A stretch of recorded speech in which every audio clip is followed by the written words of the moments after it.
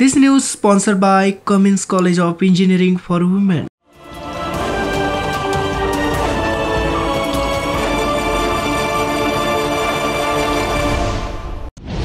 नमस्कार, स्वागत है आपका एनबीसी न्यूज़ पर। आज के टॉप 20 में मैं हूँ आपके साथ भाग्यश्री। बिहार के छपरा में मंगलवार की सुबह चुनावी रंजिश में दो गुटों के बीच गोलीबारी हो गई। इस घटना में एक व्यक्ति की मौत हुई है, जबकि दो लोग घायल हुए हैं। महाराष्ट्र बोर्ड बारहवीं के छात्रों का इंतज़ार आज खत्म हो जाएगा। आज दोपहर में नतीजे जारी किए जाएँगे।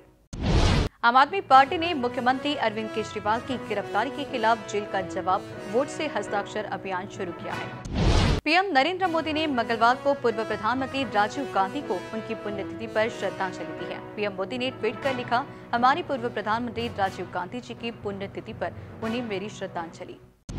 हेलीकॉप्टर हादसे में ईरान के राष्ट्रपति इब्राहिम रईसी, विदेश मंत्री और अन्य उच्च पदस्थ अधिकारियों की मौत पर आज भारत एक दिवसीय राष्ट्रीय शोक मना रहा है। राष्ट्रपति भवन में राष्ट्रीय ध्वज आधा झुकाया गया है।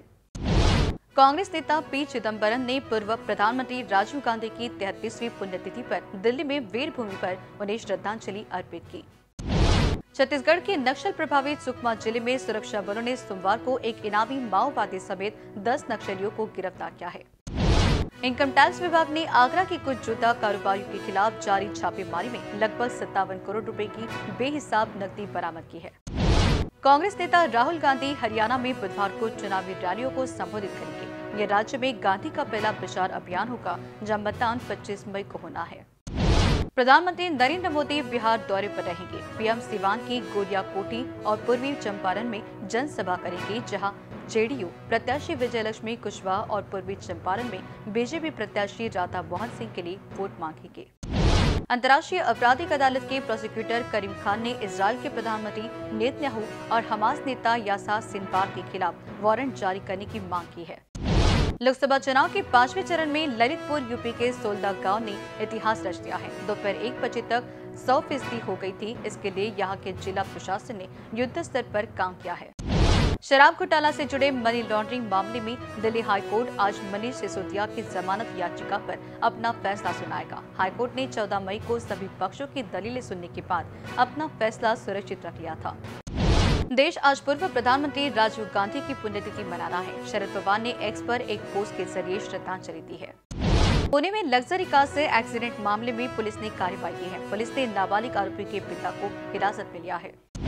मुंबई के वर्ली इलाके में एक पोलिंग बूथ के शौचालय के अंदर एक शव मिला है। मृतक की पहचान मनोहर नलके के रूप में हुई है, जो वर्ली के एक मतदान केंद्र पर तैनात थे। महाराष्ट्र कांग्रेस अध्यक्ष नाना पटोले ने यूपी के सीएम योगी आदित्यनाथ को लेकर एक विवादित बयान दिया है। पटोले ने कहा कि सीताजी का हरण करने वाले रावण जब आए थे, तब भी भगवा कपड़ा पहन के आए थे। मुंबई में 2019 के मुकाबले मतदान कम हुआ है। उद्योगपतियों, अधिकारियों के इलाके में सबसे कम वोटिंग हुई है। उद्धव ठाकरे ने चुनाव आयोग के प्रतिनिधियों पर सवाल खड़े किए हैं। भारतीय शेयर बाज़ार की शुरुआत आज गिरावट के साथ हुई है और स्टॉक मार्केट में लाल निशान में कारोबार खुला है। आईपीएल 2024 का पहला क्वालिफायर मुकाबला कोलकाता नाइट राइडर्स और सनराइजर्स हैदराबाद के बीच खेला जाएगा। इस मैच में जीत दर्ज करने वाली टीम सीज़न की पहली फाइनलिस्ट बनेगी। ये थी आज की टॉप ट्वेंटी खबरें। खबरों का सिलसिला यू ही चलता रहेगा। आप देखते रहिए इन न्यूज़ नमस्कार।